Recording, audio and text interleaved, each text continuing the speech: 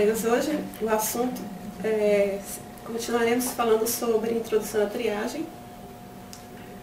E nesse módulo nós iremos aprender sobre os tipos de dores, ou seja, a continuação da aula anterior, e hoje vamos falar sobre dor radicular, dor arterial, pleural e traqueal, dor gastrointestinal, dor em repouso, dor por atividade, dor difusa e dor crônica.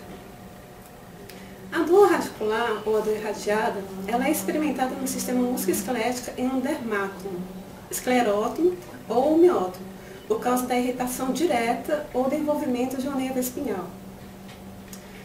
É a natureza complexa dos dermátomos, dos miótomos e esclerótomos, supridos pela raiz nervosa, que pode acarretar a dor referida, a qual é a dor sentida em uma parte do corpo que geralmente se encontra a uma distância considerável dos tecidos que lhe deram origem.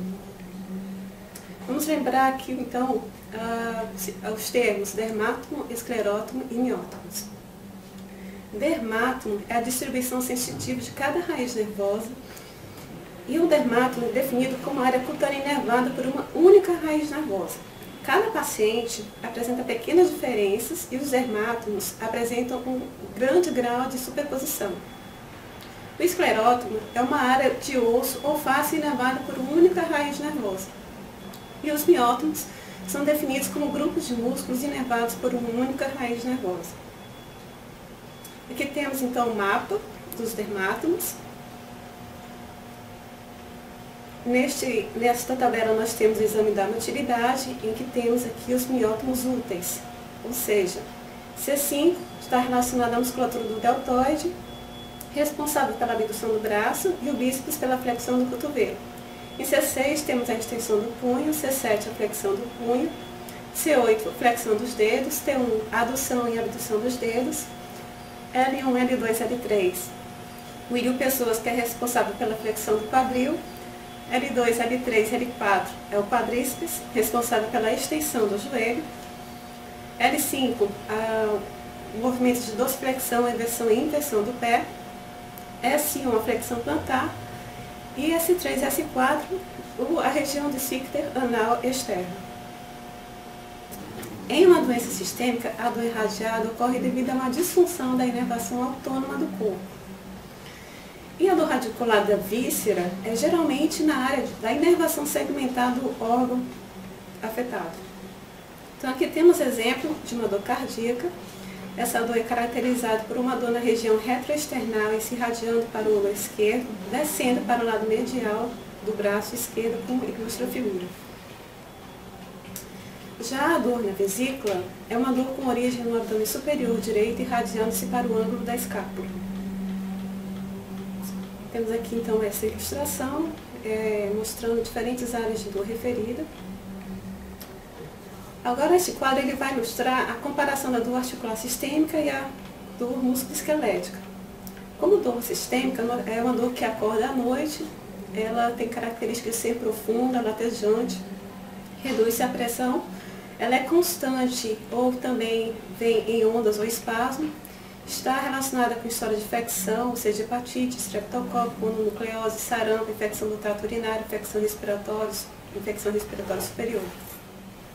Já a dor músculo-esquelética é uma dor que diminui com descanso, é uma dor aguda, cessa quando a ação estressante é retirada e está associada aos sinais e sintomas com, como pontos de gatilho, e esses pontos de gatilhos também podem ser acompanhados por náusea, suor.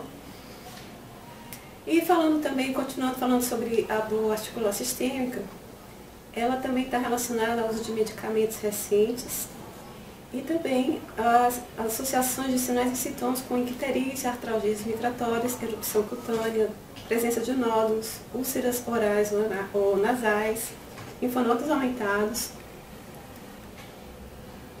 Também é, apresentar fadiga, perda de peso, febre baixa, fraqueza muscular e sintomas cíclicos e progressivos. Então, a dor física localizará, localizará a dor em padrões por dermátomos ou miótomos. Mas o cliente que descreve uma dor radicular que não corresponde ao padrão em dermátomos ou miótomos, por exemplo, dor em toda a perna ou dormência de toda a perna, pode estar passando por um comportamento desapropriado da doença. Que é o comportamento desapropriado da doença. É reconhecido clinicamente como o comportamento da doença que está fora da proporção da doença física em questão e está relacionado mais aos distúrbios psicológicos associados do que à doença física real. E sobre este assunto é, iremos discutir em outra aula. Então falando agora sobre a dor arterial, pleural e traqueal. A dor surgida das artérias, tal como ocorre com a arterite, ou seja, a inflamação de uma artéria, a enxaqueca e a dor de cabeça vasculogênica, aumenta com o impulso sistólico, de forma que qualquer processo associado à pressão sistólica aumentada, tal como o exercício, a febre, o consumo de álcool ou a inclinação anterior, pode intensificar a dor já latejante. A dor pleural, assim como a da traqueia, a dor traqueal, ela está relacionada com movimentos respiratórios. Agora, a dor gastrointestinal. Essa dor ela tende a aumentar com a atividade peristáltica, particularmente se há uma obstrução em progressão adiantada. Essa dor aumenta com a ingestão e pode diminuir com jejum ou após esvaziamento do segmento envolvido, ou seja, situação de vômito ou movimento intestinal. Quando as vísceras, tais como o fígado, os rins, o baço e o pâncreas, são dilatadas, as posições ou movimentos corporais que aumentam a pressão intraabdominal podem intensificar a dor, ao passo que as posições que reduzem a pressão ou suportam a estrutura podem aliviar a dor.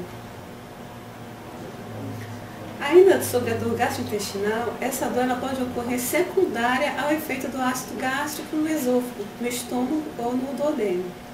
Essa dor é aliviada pela presença de alimento ou outro material neutralizador no estômago e é intensificada quando o estômago está vazio e secretando ácido. Importante perguntar ao cliente sobre comer sobre comer sobre o efeito da dor, da dor musculoesquelética, né? o efeito da dor e esse efeito da dor sobre a, dor musculoesquelética, se há alguma relação. Se a dor aumenta, diminui ou permanece a mesma intensidade depois de comer, uma a três horas mais tarde, certo? A dor em repouso. Essa dor pode surgir da isquemia de uma grande variedade de tecidos, ou seja, doença vascular ou um crescimento tumoral. Essa dor tem característica início agudo do envolvimento severo da extremidade unilateral acompanhada por dor, palidez, ausência de pulso, parestesia e paralisia e que significa oclusão arterial aguda. Isso está relacionada com doença vascular periférica. Dores de causas oclusivas, que está dentro da dor em repouso. Tá? Então, essa dor usualmente é, piora à noite e é aliviada a um certo ponto com a oscilação da perna afetada no lado da cama e com massagem frequente da extremidade.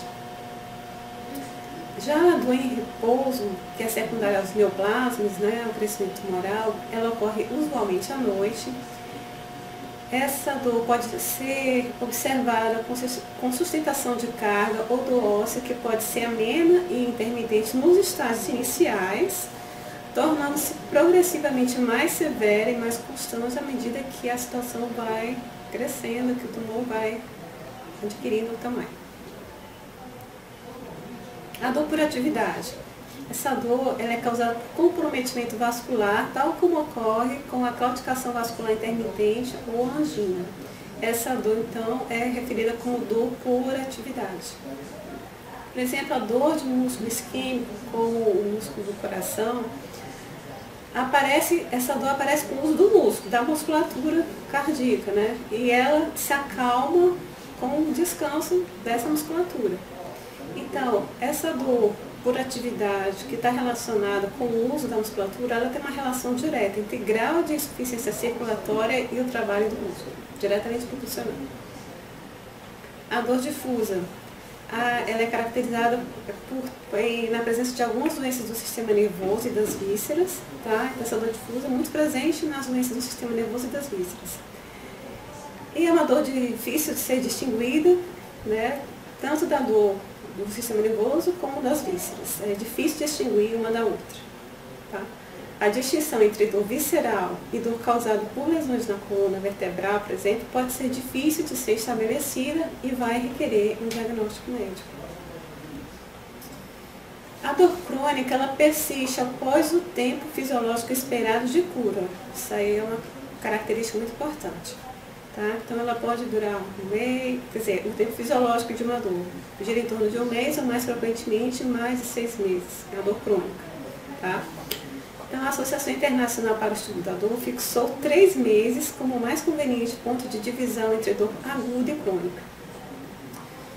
E essa dor é caracterizada também por um conjunto de mudanças de vida que produzem alteração do comportamento e persiste também mesmo depois que a causa da dor tenha sido erradicada.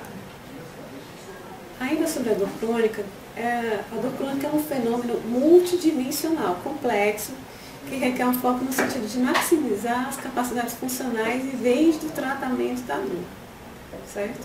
Então a diferença da dor aguda para a dor crônica. A dor aguda é proporcional e apropriada ao problema e é tratada como sintoma. E a, dor crônica pode ser desproporcional e exagerada para o problema existente. Ou seja, a própria dor é, já é uma doença. Então, a presença da dor crônica, o foco está no sentido, como já foi dito, de maximizar as capacidades funcionais. Atenção, então, a esta observação. Sintomas dolorosos que estão fora de proporção com a lesão ou que não são coerentes com os achados objetivos podem ser um sinal de alerta indicando doença sistêmica. Então, falando sobre doença sistêmica, eu vou diferenciar então da síndrome de crônica. Uma síndrome de dor crônica pode ser diferenciada de uma doença sistêmica porque a síndrome de dor crônica é caracterizada por queixas múltiplas, preocupação excessiva com a dor e, frequentemente, uso excessivo de drogas. Já a dor sistêmica, a doença sistêmica é usualmente acompanhada da associação de um grupo de sinais e sintomas característicos de um órgão em particular ou sistema do corpo. O cliente que apresenta dor crônica pode viver em um mundo socialmente estreito, devido à presença da dor, que é muito limitante, e exibir padrões de alteração de comportamento. Que alteração de comportamento? É a depressão, a neurose e a ansiedade.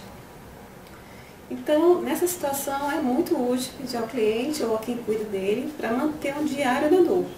E nesse diário deve constar a intensidade da dor e a sua atividade, a sua relação com a atividade, ou com as atividades que ele realiza durante o dia e tratamentos recebidos. Por último, para dirigir-se às necessidades especiais dos adultos idosos, a Sociedade Americana de Geriatria desenvolveu recomendações específicas para avaliação e o tratamento da dor crônica que não seja relacionada com o câncer. Próxima aula continuaremos falando sobre tipos de dor Aqui foi a fonte da nossa aula. Agradeço a atenção de todos. Obrigada.